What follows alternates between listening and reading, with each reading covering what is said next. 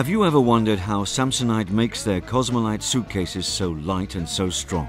They're up to twice as light as other leading polycarbonate suitcases.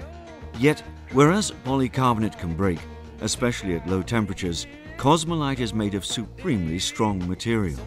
Samsonite has even driven huge trucks over Cosmolite to test the material's resistance. It simply wouldn't break. The secret is in part thanks to the patented Curv material, and in part thanks to Samsonite's engineers who have developed and patented the shell forming process.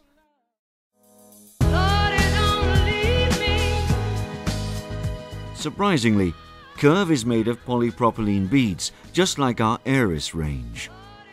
The material is melted into a thin sheet of polypropylene, which is cooled down and cut into thin strips about one centimeter wide. These strips are then stretched between 10 to 15 times to make them incredibly thin and strong.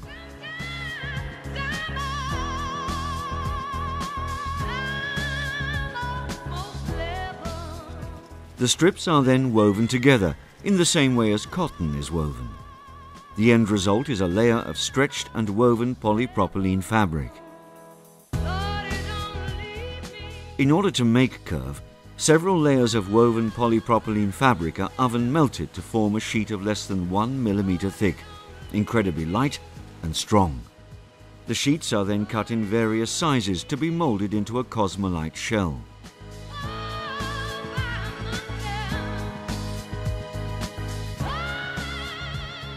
In order to make these shells, the curved sheets are inserted into the shell forming machine.